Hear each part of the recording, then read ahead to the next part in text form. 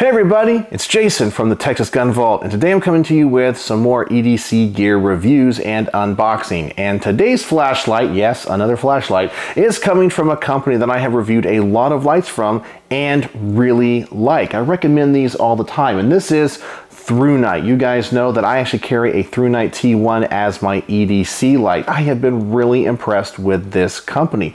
The quality has just been off the chart and I really like a lot of their options. Well, they contacted me again because they said, we have a new light on the market. Would you please do a video on it? And I said, sure, send it my way. I'll test it out and see what I think. And this is gonna be the TT20 2526 but this one is going to be in blue. Usually they always send me the ones in black. And I was like, listen, I don't get to review any of the ones that are in various colors. I really want to see how your anodization is on it. So this one says it is blue. So I'm kind of excited about that. It's going to be a different color for my flashlight collection. So let's adjust the camera. Let's get this thing unboxed and see what it is.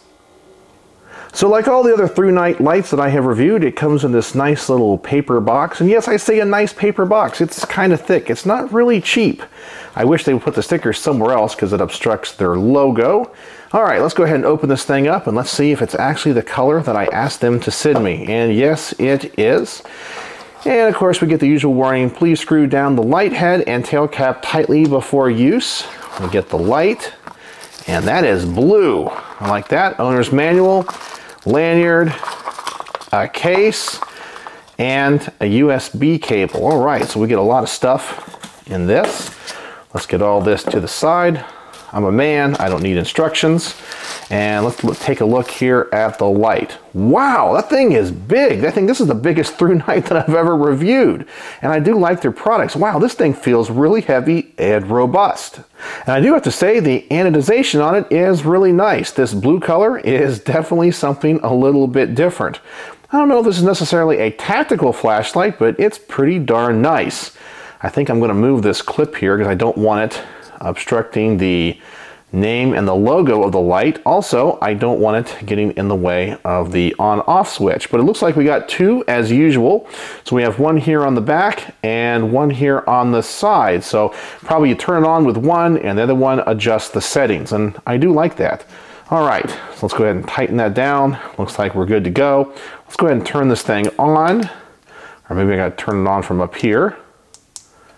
All right, it's indicating to me that it is red. Okay, there it goes. All right, it's on. And that one goes through the, the different settings. All right, that's pretty cool. If I hold it down, oh, I like this a lot. This one has the variable brightness. So if I hold it, it gets slowly dimmer and then if I do it again, it gets slowly brighter. So you can adjust it to your needs. And I think the back switch just goes to turbo immediately. Ooh, I like that a lot. Man, this might be my new favorite flashlight for around the house. This thing is pretty darn sweet. All right, well, so far I like it. And you guys know I'm a big fan of these ThruNite products. So let's go ahead and turn the lights off here in the garage, see how this beam looks, and maybe compare it to another light that you guys know. All right, so here we are in my darkened garage. We're gonna try out this ThruNite TT20, and we are going to compare it to a light that probably many of you guys know. This is the Olight Warrior 3, another tactical flashlight. See if I can get that into focus pretty good flashlight and very, very bright. So I'm kind of curious how this ThruNite's gonna hold up and compare to it. So let me go ahead and turn off the lights and let's check out these beams. All right, so let's turn on the ThruNite and there is the low setting and it does say it's a cool white light so I kind of think it has a little bit of a blue hue to it I don't think the camera's gonna pick up on that at all but it seems like it has a pretty defined centered hotspot and it does have a pretty good amount of spill, but it seems like it has two rings on the very outer edge. So as I turn up the brightness, maybe that will come across on the camera. So this does have that variable brightness setting. So I'm gonna go ahead and hold down the button and now we're getting brighter all the way up to max. And that little flash there tells me we are on max. That is really really bright. I would say it's relatively a centered light. It is lighting up the whole garage, but a majority of the light is going to that hotspot and in the direction that I point the flashlight. Now normally putting it on turbo mode like it is now, it gets hot pretty fast. This one is not getting hot that quick. It's a little bit warm, but it does seem to be dissipating the heat. All right, so I'm gonna turn off the ThruNite and then we're going to move to the Olight to compare the beams. All right, and here is the Olight. The Olight has a very centered hotspot here on the low setting. And now we're gonna go to turbo mode and yeah, that's probably still a little bit brighter than the ThruNite, and this is a very directional light. The downside to this Warrior 3 is that it does get relatively hot pretty darn fast, but I do like that very centered hotspot for tactical applications and if this was a weapons mounted light. So this is probably a little bit more centered hotspot and a little bit brighter, but it gets a lot warmer. And I think for general use, the ThruNite has a little bit better beam. So let's go ahead and take a look at that one more time when we turn off the Olight. And there is the ThruNite. So cool white versus maybe kind of a brighter white beam that you get with the Olight. This is definitely a little bit better for general applications, going hiking, camping, going for a walk, stuff around the house. And once again, please excuse my mess back there on my secondary workbench. I got a lot of projects going on. All right, so that's what the beams look like. So let's get these lights back on and I'll give you guys my final thoughts.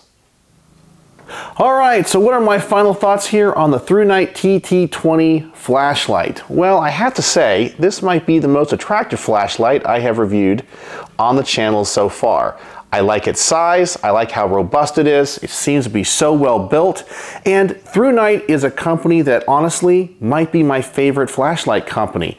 I have reviewed a number of their products. I carry a ThruNite T1 as my personal EDC kind of pocket flashlight. It has worked great, it has been very durable, and every one of the ThruNite products that I have reviewed has really been the same. They're really well built, they're very bright, I like their function, I really like the way that you go between the modes and how you have the different buttons, the one in the back, one on the side. I don't like it when everything is in a single button. This is very intuitive to use, very attractive, well built, and robust.